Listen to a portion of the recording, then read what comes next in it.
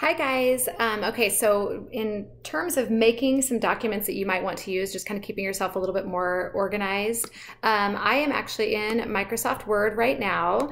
Um, you can, again, like I said, you could use pages, anything at all that you want to use, but I like to use this a lot for um, if I have specific kind of questions that I want to remember to ask people, like an onboarding sheet essentially all you're doing is you know coming in and kind of creating your own document so you can change your font using you know the standard html editor customize it any way that you want to um, and then we're going to completely format it and then turn it into a PDF. So a lot of times, like I know that there is a checklist already on there, but let's say I want to have a little bit more in-depth checklist. I don't want to use the template that's provided um, by Remarkable. Let's say I needed to have a few more options. So I could just go into insert table, insert a table here. It could say, you know, like client name, um, deposit paid, um, you know, logo given, um, uh, completed or like the project is done and then paid in full.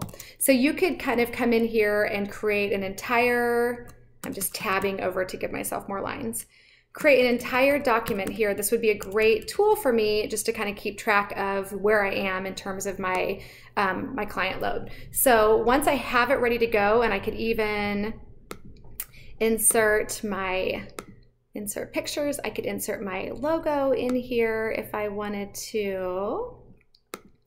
Um, and so the whole thing is ready to go. We'll actually just move this over here. And once it's ready, now I can go to File, Save As, I'm going to choose my destination. I will name it whatever it is that I want to name it. And instead of saving it as a Word document, I am going to choose to save it as a PDF. Hit save. And now I have this PDF created. So now I can go back into my Remarkable. I can click import. I can go back to my desktop and I will find sample PDF here. And now it is magically uploaded here. I just saw it upload out of the corner of my eye to my tablet as well. So it's here, it's ready to go. Now, if this is something that I wanted to put into my business folder, I simply click it. I say that I want to move it. I put it into business and say move here and magically it's in my business folder. If it's something that I needed to copy, because I want it in every single one of my um, folders, I would say copy, and then I would come out and find the place that I want it to go, insert it here, and now it is in my RecSource file as well. So I could continue to copy that and put it into every single folder that I wanted.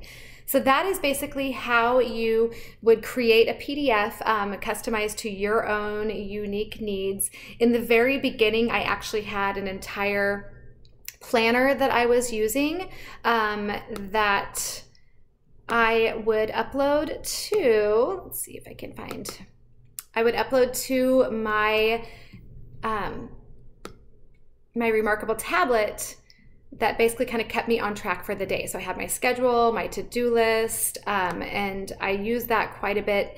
I actually now um, am no longer using it on the Remarkable because I found that I need more space to be able to write out my schedule and things like that. So this is actually something that I print out um, for myself and for my clients and friends. But but that would basically be an example of something that you could do. I love love love having things like my onboarding and my brainstorming worksheets um, already put on my remarkable tablet because it just gives me i mean it keeps me on track. It has everything that i need. I can plan this out ahead of time save it as a pdf put it on my remarkable. And then the great thing is so now it's in. I'm putting it in each of my uh, each of my client folders. Again ignore this because that's horrible but um, you can also then email it directly to someone. So let's say that i've um, I am in a client meeting from my tablet. I can't show you from here, but I could click on this organic um, brainstorming sheet, click the three dots in the corner, and then click share. And so I could actually send this directly to a client from the coffee shop or from their office, and this could be, give them kind of an idea of what they should be um, thinking about prior to our next meeting or some of the questions that they might need to answer. So again, I just think that um, being able to create your own documents and PDFs and put them into your Remarkable is a fantastic way to keep yourself organized. If you have any other questions, as always, you can email me at jen at imbyjm.com. Thanks a bunch and have a great day.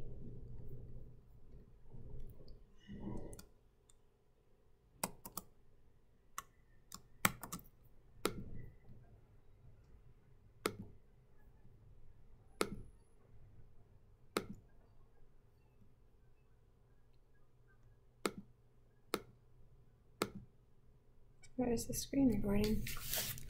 I want to stop recording.